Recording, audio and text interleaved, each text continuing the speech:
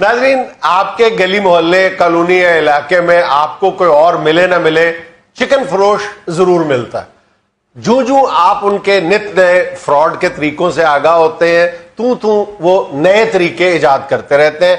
आज हसब हाल के कटहरे में खड़ा है एक चिकन फरोश। सर जी यकीन करें मैंने कभी फ्रॉड नहीं किया और नाप तोल में मैंने कभी कोताही नहीं की अभी तो मैंने तुम्हारा कोई फ्रॉड बताया ही नहीं। नहीं सर आपने फ्रॉड फ्रॉड के हिसाब से मुझे तो कटहरे में फ्रॉड सुन तो लो सबसे पहले वो फ्रॉड क्लियर किया है जो वो करता है। और वो आम है। नहीं सर। वेट का तो वाकई हर दुकान में हाँ सिर्फ़ चिकन की दुकान पे ही नहीं। हाँ। आप दूसरी दुकानों में ये सब्ज़ी वाले भी जो है अल्लाह हमें माफ़ कर दे ये हमारे यहाँ हमारे मुआशरे के अंदर ये जो नहूसत सी पाई जाती है नाशुक्री नाशुक्री, हाँ जी। उनकी वजूहात यही है ना। हाँ जी हाँ जी। ये जो अमेरिका और तालिबान के दरमियान जंग हो रही है ये भी हम चिकन फरोशों की वजह से हो रही है। ओए, ओए, चिकन फरोश मेरी बात सुनो तालिबान अमेरिका के दरमियान जो जंग हो रही है वो तुम्हारी वजह से नहीं हो रही। लेकिन जो घरों में जंग होती है ना उसमें तुम्हारा बड़ा हाथ होता है। और उसमें बुनियादी वजह यही है कम नाप तो हाँ जी। सर जी दुकान का नाम रखा हुआ माशाल्लाह चिकन शॉप। हाँ। और तकबीर इसको आती नहीं। नहीं, नहीं जनाब लोग ऐसे कैसे हो सकता है कि चिकन की दुकान खोली और तकबीर ना आती हो जनाब? मैंने तो सुना तुम एक चिकन सेवा करने लगे थे उसने अपने दाएँ पंजे से तुम्हें पकड़ लिया मैंने पहले तो देखा सर गिरवन पड़ा था कुकड़ ने। और इसने कुकड़ को आगे से मारा नहीं है। हम्म। उसको बड़े आराम से कहता उन बड़े भरा बदतमीजी करेंगे। सर जी इनका तरीका वारदात ये है हम्म। कि वज़न पूरा करने के लिए ताजे गोश्त के साथ बासी गोश्त को मिक्स कर देते हैं। एग्जैक्टली हाँ। और भाई साहब बासी गोश्त मेरी दुकान पे नहीं होता। मैं तो माल ही उतना मंगाता हूँ जितना बिक जाए। मैं फजूल गुफ्तगु ना कर।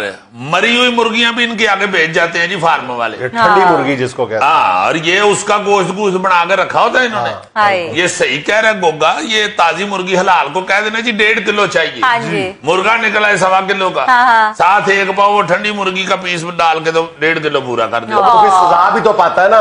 एक दफ़ा इसने तीन चार मुर्गियाँ जिबा करके ड्रम में फेंकी है। चौथी डालने लगा तो पहली तीनों ने इसको अंदर कैच लिया ड्रम।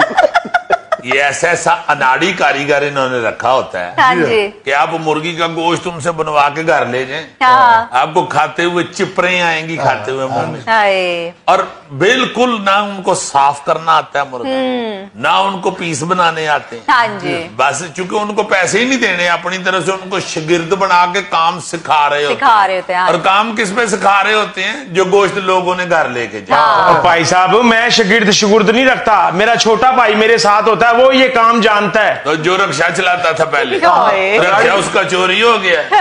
अब वो इसके मुर्गे चलाता है। सर जी ये इतना छोटा है तो इसका छोटा भाई कितना छोटा होगा? ये चारों भाई को जितने ही है। कोई आवाज़ मारे ना छोटे तो चारों ही दौड़ पड़ते। मेरी बात सुनो। देखो ये चोंच और पोटा जो है ये तो सरकारी रेट में भी साथ तोला जाता है इजाज़त है तुम्हें। लेकिन तुम साथ उसकी आंतें आलाइशें वो भी साथ तोल देते। हो। वो भी उतारने के लिए तैयार नहीं होता वज़न पूरा करने के लिए। भाई साहब जो मुर्गी के साथ होगा वो ही सब कुछ देंगे ना। भाई ज़िंदा मुर्गी का रेट और होता है गोश्त का रेट और होता है यार। ठीक है आज मैं तुम्हारी दुकान पे आऊँगा मुर्गी लेने।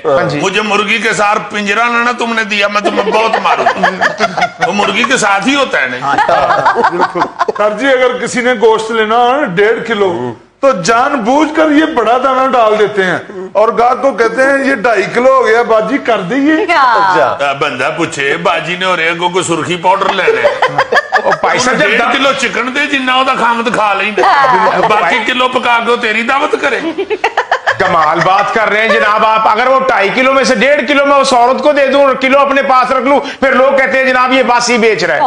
और वो जो गोश्त को पानी लगा लगा के वज़न बढ़ाते हो वो जैज है? इतना पानी इतना पानी फेंकते हैं गोश्त पे वो लगता है कुकड़ गर्मी लगन रही जुल्फी मेरी बात सुनो जी। ये अगर पानी लगाने से वज़न बढ़ जाता है तो तुम खुद ट्राई क्यों नहीं करते? नहीं तो तुम कभी इसको जब नहाए तो गिला गिला ला के इधर बैठाओ हाँ। अगर ना तुम्हें व्यूअर्स एसएमएस करेंगे भाई जी जुल्फी किधर क्या है? बड़ा भाई साहब टनों के हिसाब से पानी लग रहा है और ग्राम दो ग्राम लग जाता है तो क्या फ़र्क पड़ता है? आप साथ ये भी कह दो कि मुर्गा भी तो पानी पी के जवान होता है। वो मेरी बात आपने कह दी। बेशरम इंसान हो यार तुम। सर अगर इनका तराजू ठीक हो भी ना तो इनका तोला हुआ गोश्त अगर घर लेकर जाए तो लाजमन 200 या 100 ग्राम कम ही निकलेगा। नहीं तो इनका तराजू अगर ठीक हो भी तो फिर अपना घर वाला तराजू चेक करा लो और बीबी भैन आप खुद ही तो कहते हैं कि गोश्त को अच्छी तरीके से साफ़ करके दें। तो यकीनन 100-200 ग्राम फिर कम तो होगा।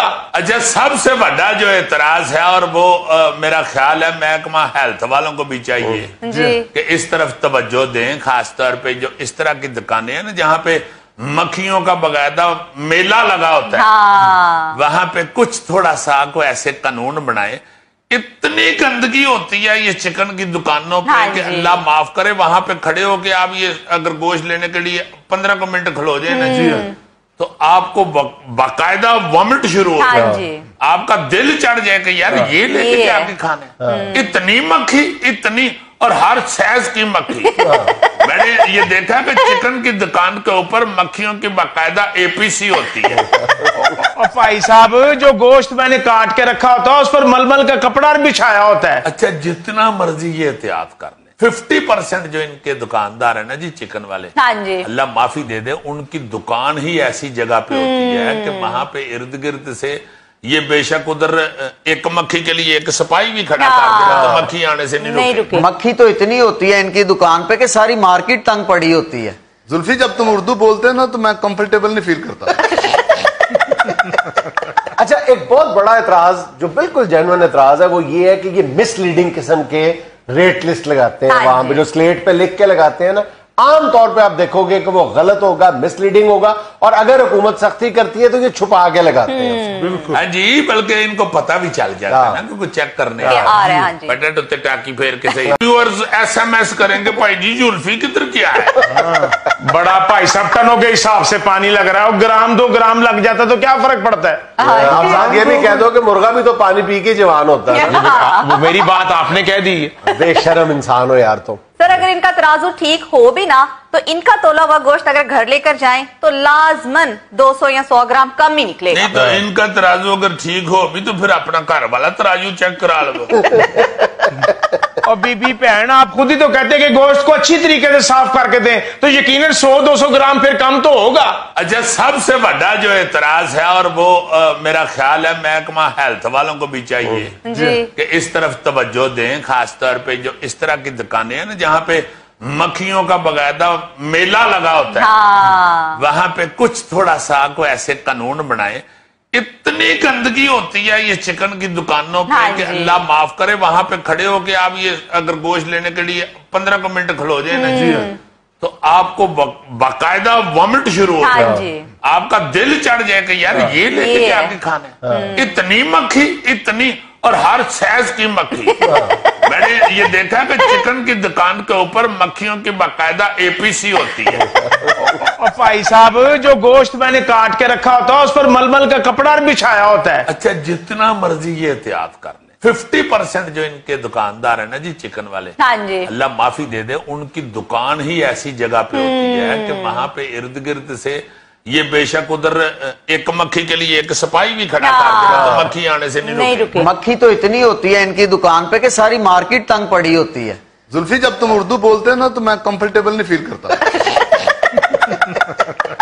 एक बहुत बड़ा एतराज़ जो बिल्कुल जेनुअन एतराज़ है वो ये है कि ये मिसलीडिंग किस्म के रेट लिस्ट लगाते हैं हाँ वहाँ। पे जो। स्लेट पे लिख के लगाते हैं ना आम तौर पे आप देखोगे कि वो गलत होगा मिसलीडिंग होगा और अगर हुकूमत सख्ती करती है तो ये छुपा के लगाते हैं। बिल्कुल। हाँ जी बल्कि इनको पता भी चल जाता है हाँ। ना क्योंकि चेक करने आ रहे हैं, हाँ जी। बटन उत्ते टाकी फेर के सही रेट लेख देते हैं। एक छोटा सा वक्फा हमारे साथ रहिएगा।